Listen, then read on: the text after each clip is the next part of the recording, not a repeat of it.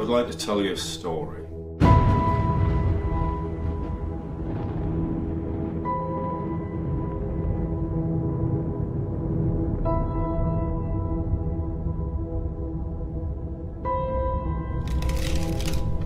This is Family Values 2 by Mark Elsdon and Magic Box. This is a chilling, realistic story with not one but two revelations. Have you ever heard the phrase, your card's been marked? So these are all names of his family and his friends, and you get the idea. There's 52 different names here uh, on the back of everyone, and there's 52 different cards as well, all with different names written on the backs of them as well. Um, I'm going to deal them down like this, um, just face up, and just whenever you want, just call out stop, and you're going to feel this urge to say stop on a certain card. Okay.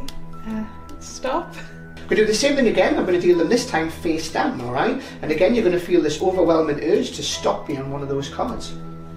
Oh, stop. Oh, there, this one. Agnes, there. yeah. Agnes, are you Agnes, sure? yeah. That is really weird. That is, re- and you don't want to change your mind to another one. Um, no, I'll, I'll You, try you want to go Agnes. with Agnes? This is really weird. This is it just, Everything comes ready to go out the box, but everything's also completely customizable so you can fit this perfectly towards yourself. three of them. What's weird is if you look at the photograph, you'll actually see he's holding his lucky card. There, the three of hearts.